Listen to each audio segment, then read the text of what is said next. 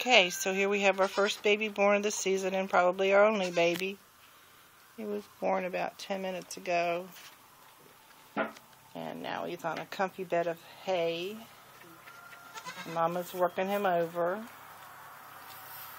And he's been trying to stand, but his legs are pretty wobbly, so I had to mm-hmm. pull him a little bit, but he was mostly coming out on his own. I just helped him some.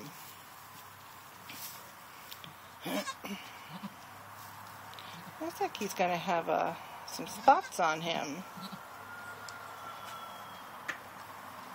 And of course, I have the two dogs here. Well, two of the eight.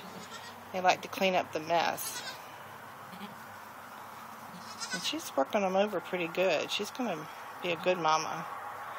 It's important that they imprint at this stage, and so it's a good thing that she's been licking on them. Get away from her.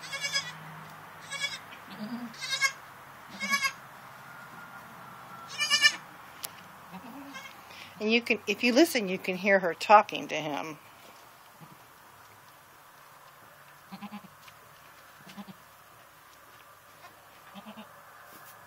I'm glad she picked a nice day to have him.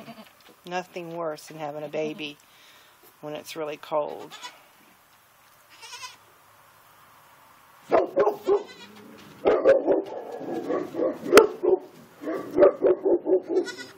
So, good girl. Good girl.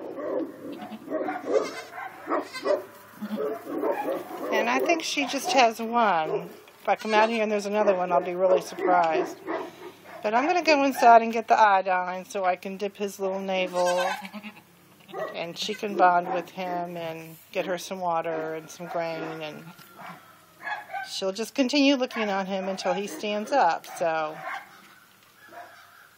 And then later tonight, I'll move them to a different place. Because right now, we're where all the other goats are. But I have a few pens over here I can clean and move them so they'll have some privacy. So, that's good. Later, guys.